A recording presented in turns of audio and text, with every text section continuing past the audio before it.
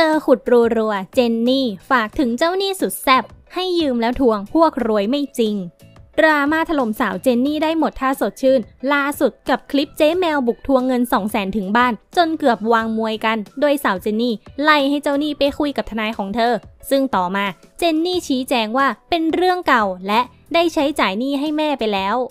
แต่ชาวเน็ตไม่จบง่ายๆ งานนี้ขุดมาแฉซ้ำ เป็นคลิปที่สาวเจนนี่ อัดคลิปแหล่งใต้ ถึงเจ้าหนี้ว่าก็ไม่มีอะไรมาก เจนนี่อยากจะฝากนะคะ ไอ้พวกที่ให้ยืมตังมาแล้ว แล้วมาทวง นี่แสดงว่ารวยไม่จริงใช่ไหม ให้ยืมแล้วมาทวง ไม่ให้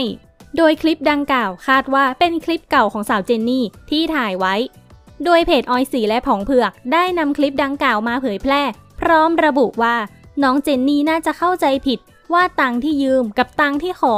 หรือเขาให้มันต่างกัน ยืม แปลว่า เอาไปก่อน แล้วจะคืนทีหลัง ถ้าบางคนหน่าทนอย่างเบี้ยแหละ แต่ไม่คืนเขาก็ต้องทวง บางคนทวงก็บอกไม่ให้เหมือนน้องว่านี่แหละ แต่บางคนแหล่งเหมือนน้องเจนนี่ทำคลิปเหมือนแหล่งเล่นพันนี้ แต่บางคนมันทำจริงนั่นแหละ เรื่องนี้ไม่เกี่ยวกับรวยจริงไม่จริงถึงทวง แต่มันเกี่ยวกับว่า ขนาดมียังไม่คืนเลยโด ก็ไม่มีอะไรมาเจนนี่ก็อยากจะฝากนะคะ ไอ้ผัวกที่ให้ตังยืมมาแล้วถึงมาทวง นี่แสดงว่ารวยไม่จริงใช่ไหมให้ยืมทำไรเดี๋ยวมามาทวง